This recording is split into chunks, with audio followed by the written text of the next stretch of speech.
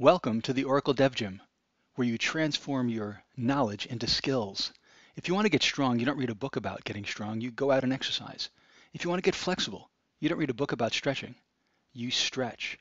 So when you want to get stronger in your Oracle database development skills, you go to the Oracle Dev Gym. Like any good website, when you first visit us, we offer a welcome page. Welcome to the Oracle Dev Gym. So on this page, you can give us just a little bit of information that will then help us tune the site to meet your needs better.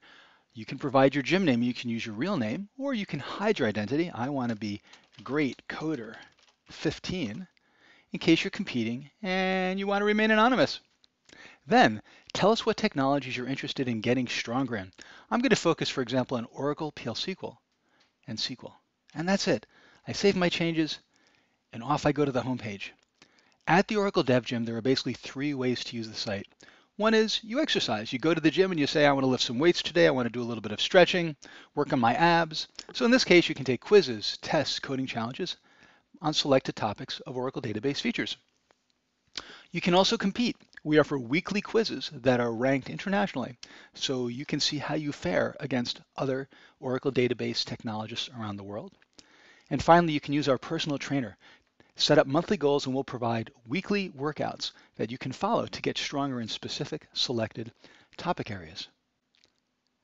And if you just want to dive right in and start taking quizzes and learning stuff, click on the mystery quiz button and we'll give you a quiz. So this is a quiz on truncate for the number and I read my question. I look at my different multiple choices and generally more than one can be correct. I make my selections. Which ones do I think are correct? I submit my answer. And then I can go exploring. So it tells me how I did. I got 100% correct. That's pretty cool. I can look at explanation information about the different topics. Check out the verification code. So you can grab this code and you can run it in your own environment or on livesql.oracle.com and learn more about the different choices, why they're right and wrong. Take similar quizzes. Check out our resources. Have discussions about the topic at hand. And if you find a problem with our quiz or you have any other concerns, report a problem.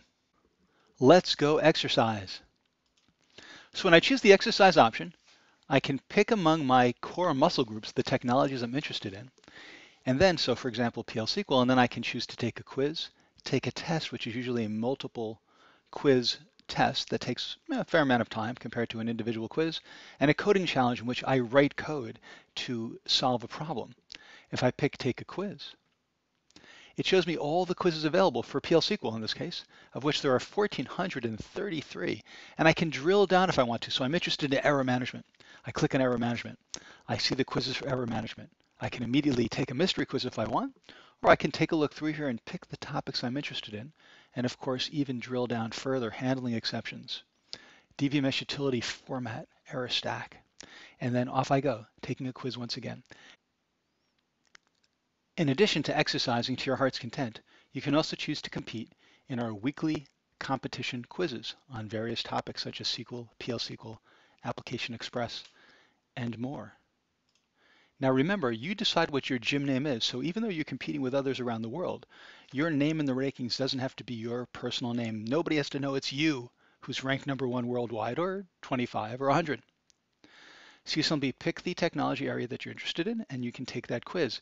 If you don't see the one you're interested in, it could be because you selected too few technologies, so you can click on Change Technologies, visit your locker, click on your technologies, and then you can highlight or de-highlight whatever makes the most sense to you.